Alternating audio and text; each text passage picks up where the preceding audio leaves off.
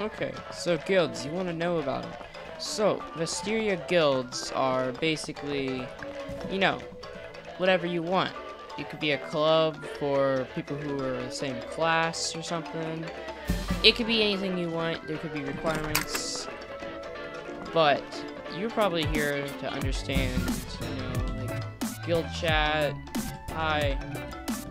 Someone might respond if you enough guild. Can create a guild in Port Fidelio for one gold. I mean, you gotta be level 10 though. You can also upgrade your guild to all the way until level 5. Which um is 3,000 gold, which is a lot of money, and that's that takes a while to get. But a guild can used to be 150 members, but it can have 140 members now. And create a guild, you must be a full party players. So if you want, this is only applying to if you want to first create a guild. Uh, these would be your founders, the first six people ever to be in the guild. Because guilds, you start off by, let's say I party the poof poof.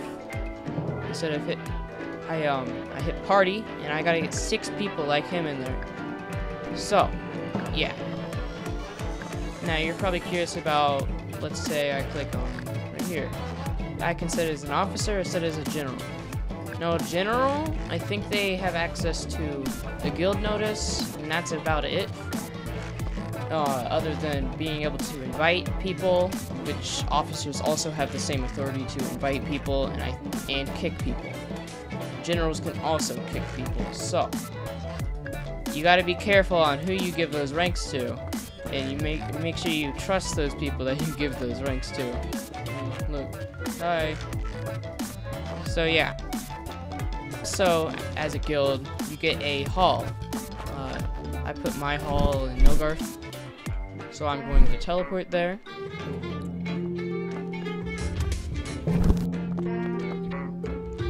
And the Nilgarf Guild Hall will be located right here.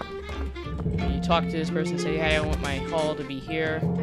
You can go into your guild hall. And the Cheesy Boys with an extra E because I made a typo a really long time ago when I made that. So, so if your guild is, I think, tier 3 and up, you get vendor. Vendor man. You can sell your stuff like Sword, gone. And you can also buy Magenta Potion. They give 500 HP. Mana Elixir. They give 300 HP MP. So this is the only other place than Dunes you can get Mana Elixir. And you know, so you, Dunes is just kind of a pain if you want Mana Elixir. Uh -huh. You also get a cheaper Taxi Man Dave, which is nice matters what guild hall you have. You have you always will get demis, but they'll be in different locations. It'll your DPS or something. See, 9,814 or something. Here, you can. I want to donate to my guild. I want to donate 100 gold, and you'll give 100 gold to your guild. This is for uh, trying to get enough money for your guild to upgrade it. It's just a random room. Every guild has these features too. They're just scattered in different locations. They always have a bed area. Uh, so yeah. Also, when you have a guild, it isn't necessary to have officers and uh, generals, but they're better for, let's say you want to have your guild have moderation if someone starts spamming, I don't know, something like www 20 billion times and just doesn't stop if you request them to stop, well, then you can just kick them. That is a pretty easy solution. So yeah. But, that's your, really, that's really the only alternative to kicking someone. If you're all the same rank, you can't kick that person who's spamming and you're just ruining everyone else's experience. So you want to constantly, well, you want to at least have a officer or general online at all times because, you know, you don't want some idiot like me going 30 billion times over and over.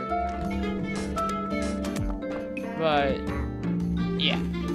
That's all you really need to know about guilds and Vesteria. Yeah.